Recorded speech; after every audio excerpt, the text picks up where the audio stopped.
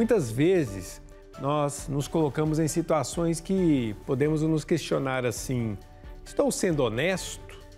Como praticar a honestidade no dia a dia? Algumas necessidades nos levam a ter esse tipo de pensamento em determinadas situações e devemos sempre nos questionar: será que o que eu estou fazendo está de acordo com os meus valores cristãos? Sobre esse assunto, nós conversamos agora com o padre Marcelo José Monteiro. Ele é teólogo, psicólogo e padre, né? E vai nos ajudar a pensar aqui nesse assunto da honestidade. Padre Marcelo, muito bom dia. Vamos começar com a definição, né? O que, que é honestidade? A honestidade hoje é diferente da honestidade no passado? Muito bom dia para você.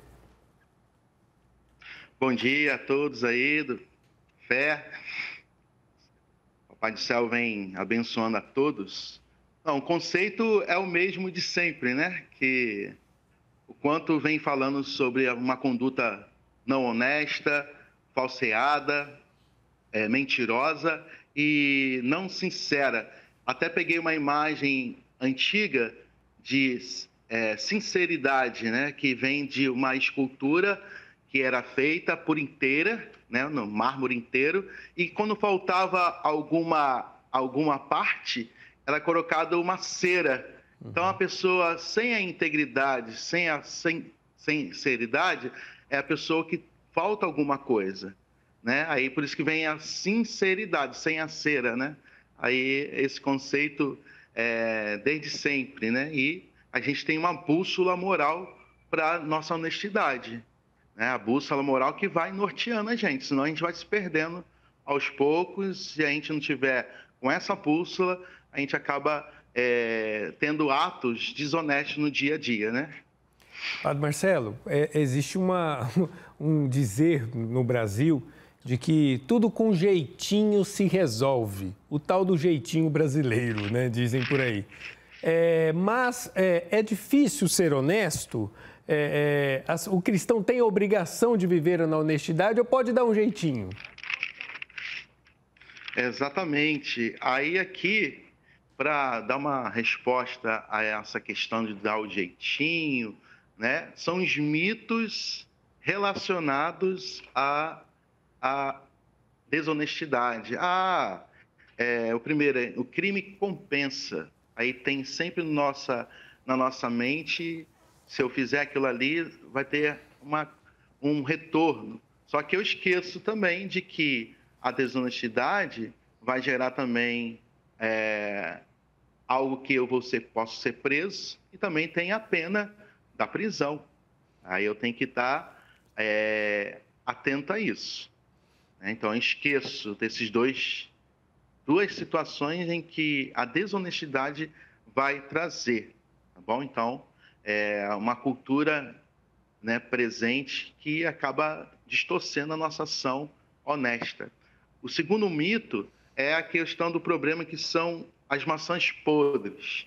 Aí a gente pensa, não, que a maçã, o problema é maçã podre. Então, se tem maçã podre, tira, retira. A gente até lembra um pouquinho de Jesus falando né, do joio e do trigo.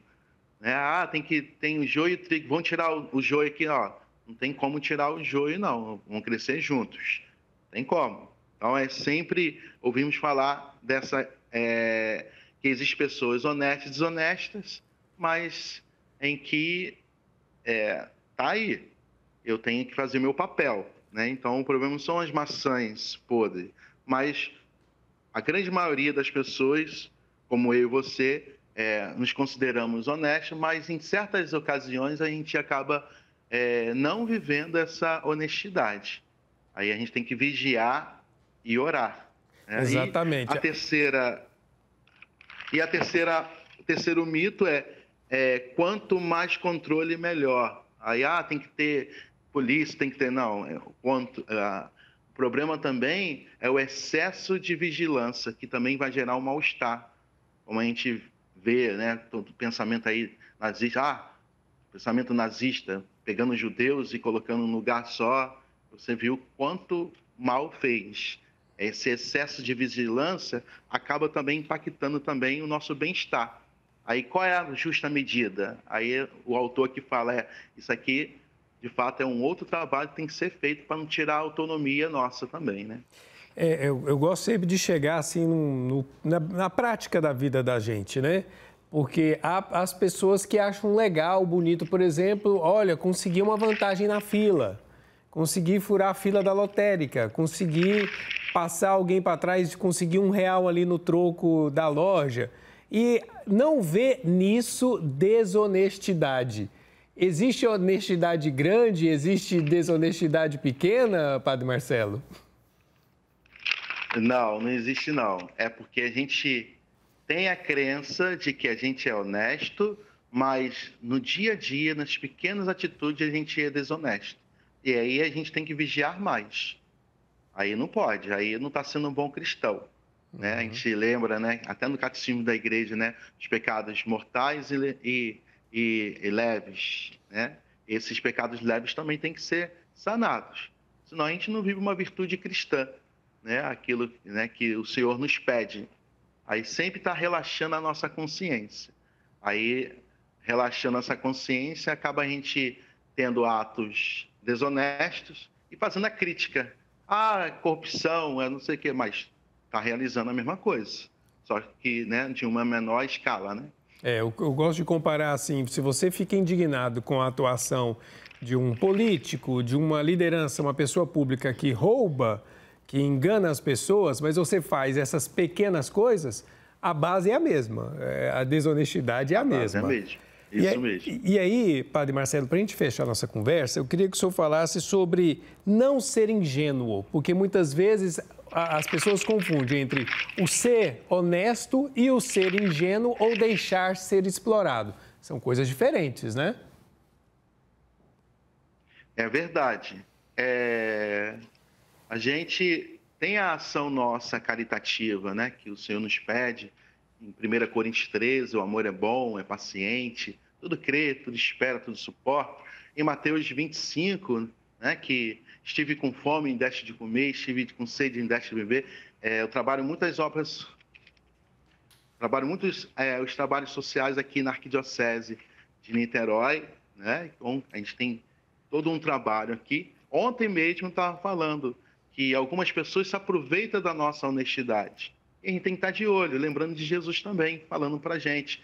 Sejais prudente como a serpente, simples como a pomba. Ó, atento. Atenta aí também às nossas ações. Não basta só a gente fazer caridade.